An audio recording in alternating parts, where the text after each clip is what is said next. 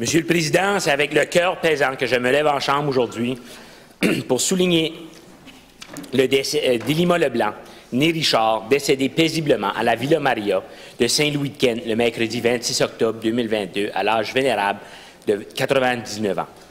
Née à Cap-Lumière, était la fille de feu Joseph et Marie Richard et époux de feu Dan Leblanc. Je vais m'ennuyer terriblement des discussions avec ma chère Dilima, que j'ai rencontrée pour la première fois lorsque je faisais campagne lors de l'élection de 2018. Vêtue de ses pantalons verts, on pouvait passer des heures à commenter et à analyser l'actualité. Je suis convaincu, ayant vécu à une différente époque, que Dilima aurait été assis ici même, dans cette Assemblée, pour représenter avec brio ses concitoyens. La famille désire dire un merci très spécial à toute l'équipe et les volontaires à la Villa Maria pour les soins exceptionnels qui ont été fournis pour Dilima. Monsieur le Président, j'invite mes collègues à me joindre en offrant nos condoléances les plus sincères à la famille et aux amis de Dilima Leblanc.